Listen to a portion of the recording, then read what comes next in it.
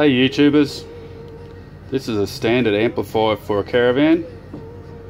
Now, what I was finding was if I plugged in my 12 volt line for my TV, I would find that the thing would drop the voltage and drop to about 6.66 volts, which is no-no, and if I press that on, it would drop the radio out, which is my radio over here which was my test test subject at the time. And here's the wiring. So one's your input one's your output. And then you've got these. This is actually an earth. Some idiots use red wire to run earths in a caravan. I cannot believe that someone would do that. Maybe it's cheaper but maybe you should do the right regs. This one here is your your power. So across these I was getting around about 11 volts with a multimeter check. Okay, so 11 volts, not much. Then it goes up to here, and it's 13.2 13.2 volts. Sorry about the, uh, and that is, sorry about the uh, bad filming YouTube.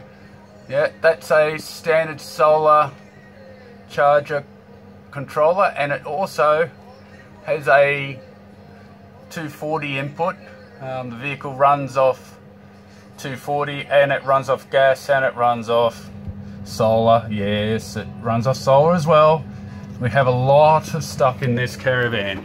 This caravan is quite large, quite extensive, and yes, there's me with my Back to the Future t-shirt. Thought everyone would enjoy that. Anyway, it's quite a nice caravan. It's called Royal. Um, you're probably getting the air conditioner. That's the air conditioner. I'm testing everything in here at the moment because we only just bought it. This is our bed. It's quite nice. Beautiful. It has LED lights. It's not bad. Not bad for the price. And it, it comes from a company from down in Melbourne. So anyway, we'll keep working on it and we'll talk to you later. If you enjoy this video or if you enjoy this caravan and you need, you want something like this for a reasonable price, contact me and I'll put you in touch with the guy. And that's if you're in Victoria, Australia, this is one of the best caravans you'll see. And it's got beautiful features, lovely features through it. It has um, selected toilet. It's got a shower. It's got a beautiful shower in here. It's got lighting. It's got your microwaves and all the rest of it. Your fridge. Beautiful fridge.